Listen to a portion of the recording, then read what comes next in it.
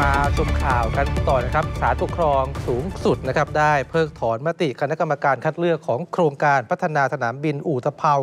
และเมืองการบินภาคตะวันออกนะครับในส่วนที่ปฏิเสธไม่รับข้อเสนอซองที่ 2 และซองที่ 3 ของกลุ่มบริษัทในเครือ CP นะครับศาลปกครองสูงสุดได้อ่านคำพิพากษาครับคดีระหว่างบริษัทธนโฮดดิ้งจำกัดกับพวก 5 คน ผู้ฟ้องคดีกับคณะกรรมการคัดเลือกของโครงการพัฒนาสนามบินอู่ตะเภา และเมืองการบินตะวันออก ผู้ถูกฟ้องคดี กรณีนี้นะครับผู้ถูกฟ้องคดีเนี่ยไม่รับซองข้อเสนอฉบับจริง และสำเนา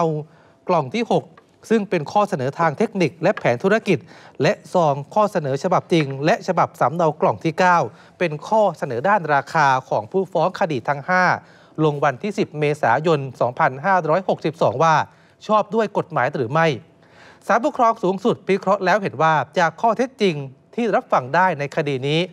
เห็นได้ว่าปัญหานี้เป็นที่มาของเหตุของการฟ้อง ในคดีนี้ไม่ใช่ปัญหาว่ากลุ่มผู้ฟ้องคดีทั้ง 5 ไม่ได้เข้าร่วมกันยื่นยื่นเสนอ ข้อการกระทำใด ๆ ที่แสดงให้เห็นว่าไม่ประสงค์จะเข้าร่วมกันยื่นเสนอ เพราะตามข้อเท็จจริง และพฤติการที่รับฟังได้ เป็นที่เห็นโดยประจักษ์ว่า กลุ่มผู้ฟ้องคดีทั้ง 5 ได้แสดงความประสงค์ที่จะเข้าร่วมในการยื่นข้อเสนอ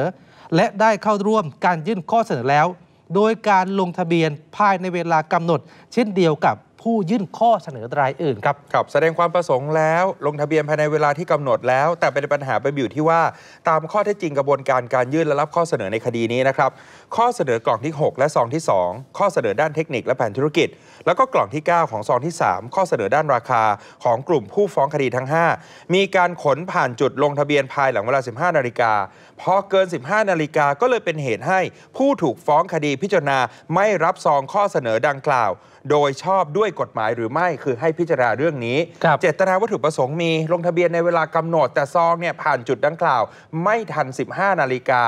ช่วยพิจารณานิดหนึ่ง โดยวิสัยและพฤติการเช่นนี้ย่อมไม่มีน้ำหนักที่จะทำให้เป็นข้อสงสัย อย่างจริงจังว่าสาเหตุที่ซองเอกสารกล่องที่ 6 และซองเอกสารกล่องที่ 9ลำเลียงมาถึงจุดลงทะเบียนหลังเวลา 15 นาฬิกา เกิดขึ้นจากการที่ผู้ฟ้องคดีทั้ง 5 ไปร่วงรู้ข้อเสนอของผู้ยื่นข้อเสนอรายอื่น เพราะว่าที่สุดแล้วผู้ยื่นข้อเสนอรายใดจะเป็นผู้ได้รับการคัดเลือก อันนี้เป็นไปตามเกณฑ์การประเมินอยู่แล้วศาลท่านบอกแบบนี้ครับและท่านยังบอกด้วยว่าสาระสำคัญที่แท้จริงของกระบวนการการยื่นข้อเสนอในคดีนี้ อยู่ที่การแสดงตนเป็นผู้ยื่นข้อเสนอ และหลังจากนั้นจะเป็นการนำข้อเสนอทั้งหมด ยื่นและส่งมอบให้แก่ฝ่ายรัฐเพื่อที่ฝ่ายรัฐจะนำเอาข้อเสนอของผู้ยื่นข้อเสนอ แต่ละรายไปพิจารณาในเวลาต่อไปครับครับด้วยเหตุผลที่ศาลพิเคราะห์มาข้างต้นนะครับ จึงเห็นว่าการที่ผู้ถูกฟ้องคดีมีมติไม่รับซองที่ 2 ซึ่งเป็นข้อเสนอด้านเทคนิคและแผนธุรกิจ กล่องที่ 6 และซองที่ 3 ข้อเสนอด้านราคากล่องที่ 9 ของกลุ่มผู้ถูกฟ้องคดีทั้ง 5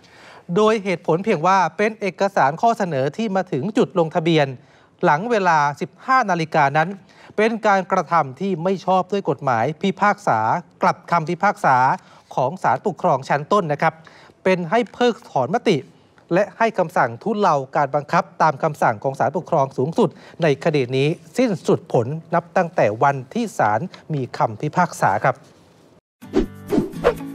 กดติดตามและกดกระดิ่งแจ้งเตือนจะได้ไม่พลาดคลิปใหม่ๆ จากดิว18 กันนะคะ